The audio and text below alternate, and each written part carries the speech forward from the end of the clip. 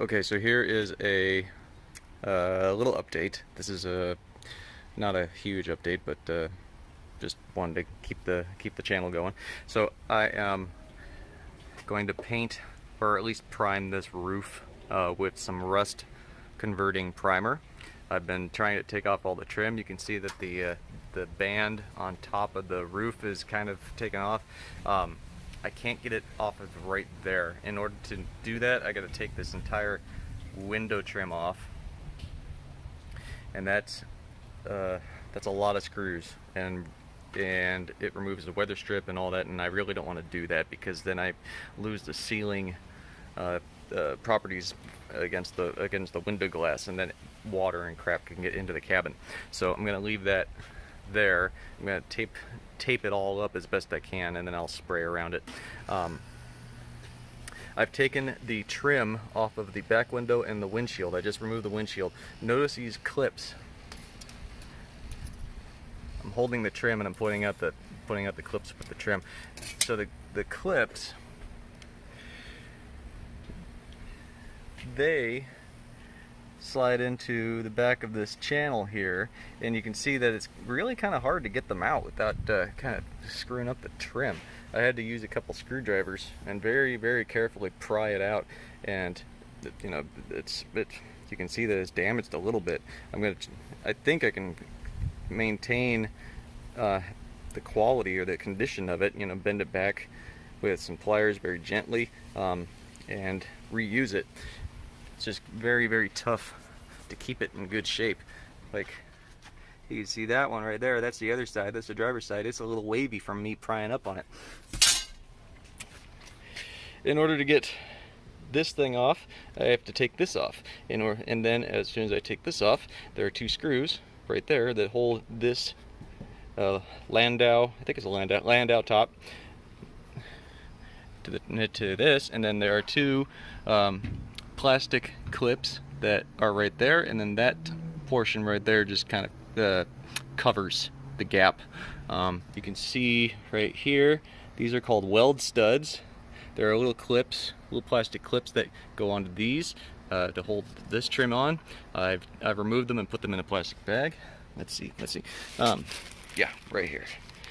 So the black ones go up top, the beige ones go along the side of the car and they hold on the trim that goes along here.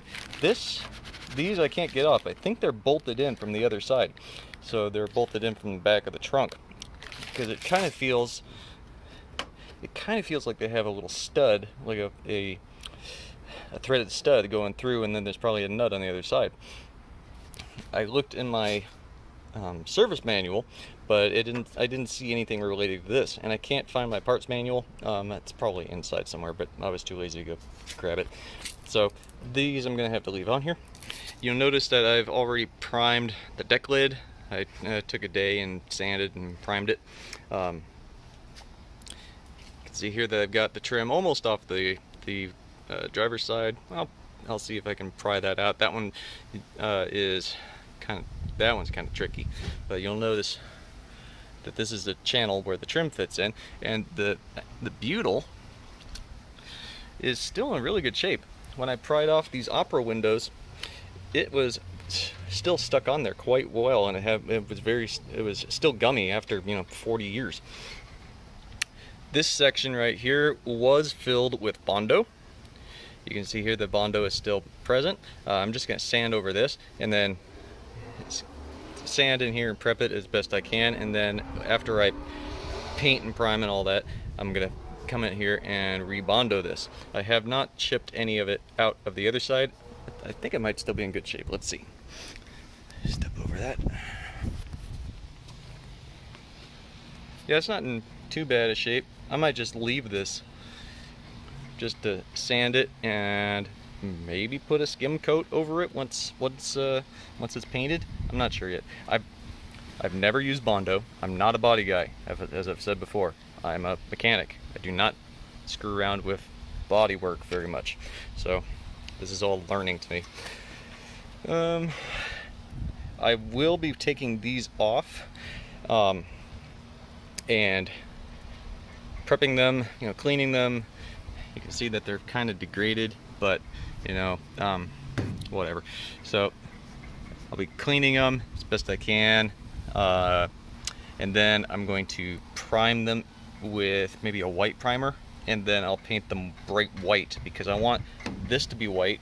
I want these stainless pieces to gleam, so gonna have to take a Dremel with a polishing buffing pad or whatever and polish them up. And then I would love, I would love to have a white, um, white vinyl top put on after I paint the whole thing black. So, all right, th so this camera's getting pretty hot.